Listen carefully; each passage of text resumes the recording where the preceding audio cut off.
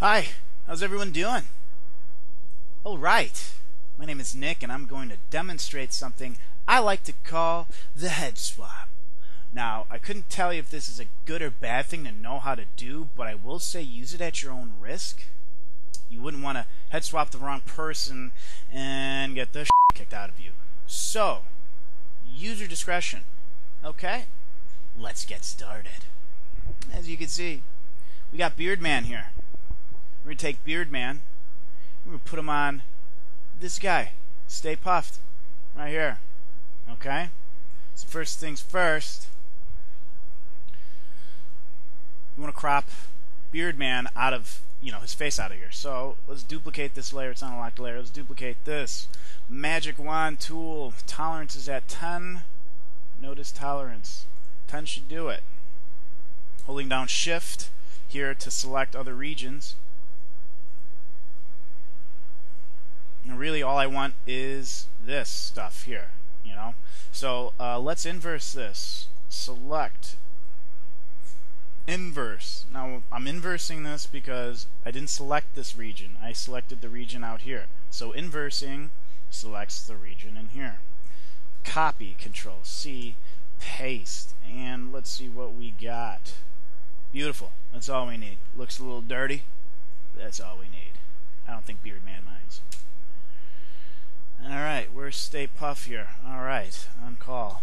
Let's drag him in here.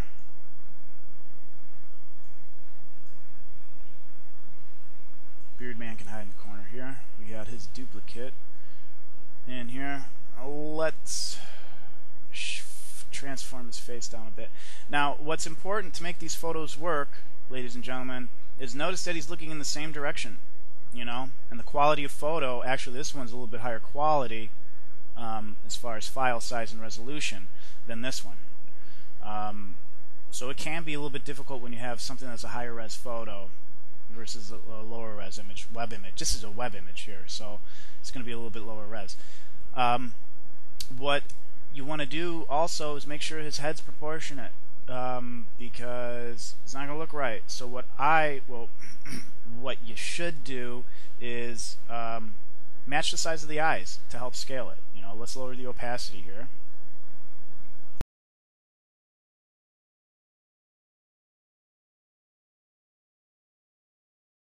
Alright, let's see how that works. For now, let's uh, clean up this here. This is a quick cleanup with the eraser.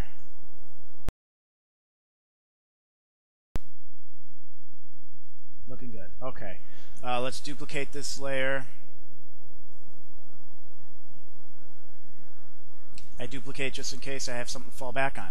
You know, I wish uh, I wish life had you know a duplicate layer like maybe an undo button, um, but it doesn't. Fortunately, Photoshop does. Now let's adjust the color of his face a little bit. We go to Image, Adjustments, Color Balance. Guy's got like an orangish, orangish hue, orangish hue on him or something. I, I don't know how you would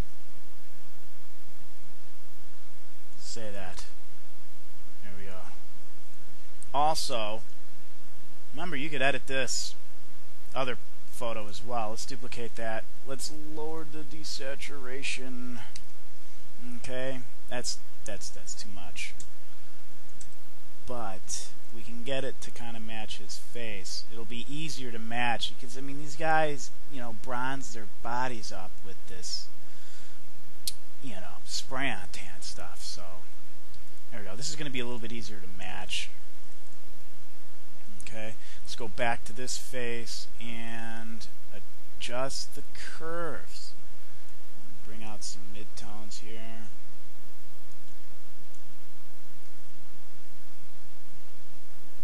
see, we kind of get a kind of get a glare on his face. That's good. We, we want that.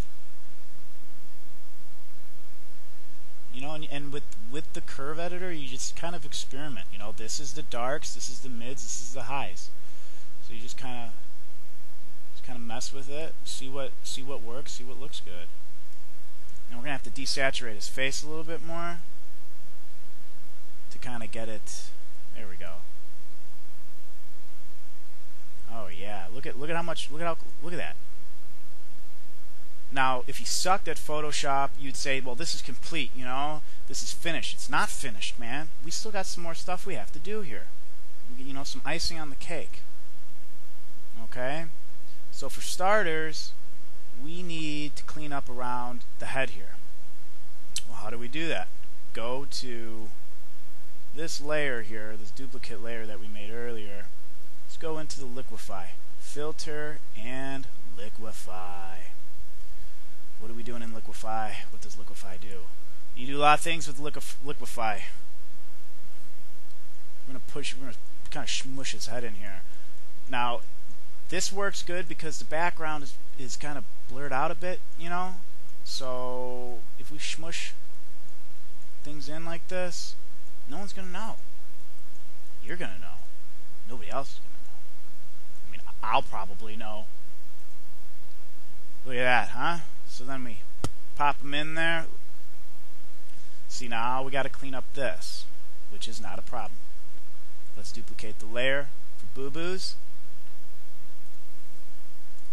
And let's clean up those white edges, huh?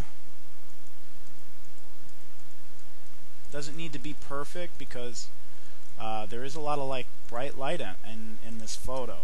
So highlights, I don't think would would ruin would, would, ruin the how would you say illusion. Now what we're going to do is uh, add a little bit more detail. Let's duplicate this layer.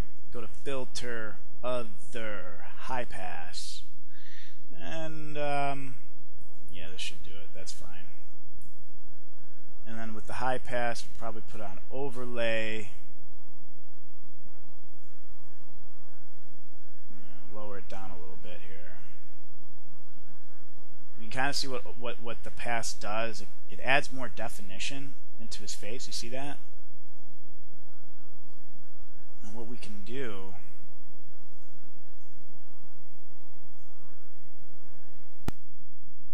Now, taking a look at this, it's not bad. It, it, um, the only thing is his face isn't shiny like Stay Puft's. I mean, I think for just as a beginner's sake, we'll adjust the uh, we'll adjust the curves a little bit more. What we'll do is, you know, I got a better idea. What we'll do is we'll duplicate this layer. Let's bump up the curves. Maybe we can get some uh, highlight, you know, get some highlights in his face.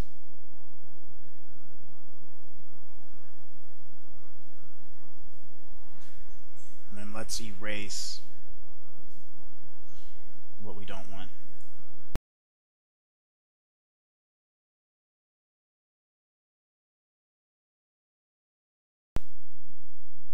kind of gives you the idea, you know, the concept of doing it, like how to do it.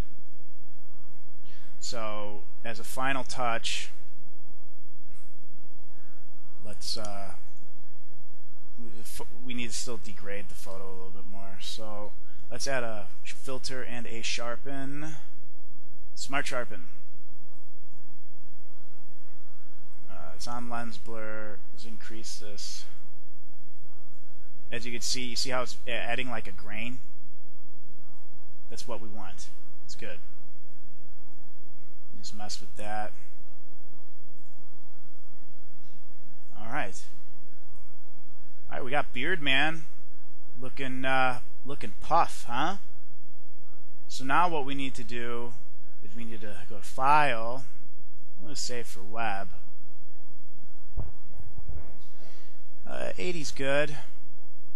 Let's save that to desktop. We call it Beard Man.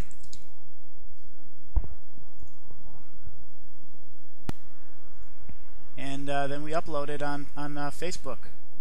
And uh, we tag him in it. And so hopefully, you know, all of his friends and, you know, whatnot see the photo before he gets home from, let's say, work or something.